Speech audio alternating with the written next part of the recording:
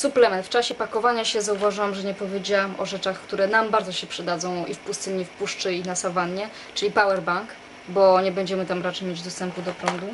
Ładowarka do telefonu samochodowa, bo będziemy mieć samochód z prądem, więc się naładuje. I tam mało używana ładowarka do telefonu, taka zwykła do prądu.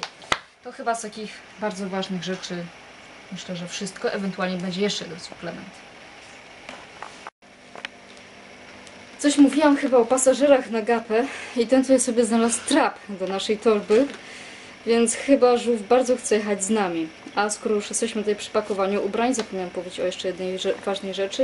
Yy, trzeba zawsze pamiętać i uważać, jakie ubrania pakujemy, bo w niektórych krajach nie będzie zbyt mile widziane, jeśli założymy ubranie w taki wzorek naśladujący wojskowe albo w ogóle jakieś paramilitarne ciuchy. Trzeba na to uważać i raczej unikać gdzieś tam poza Europą.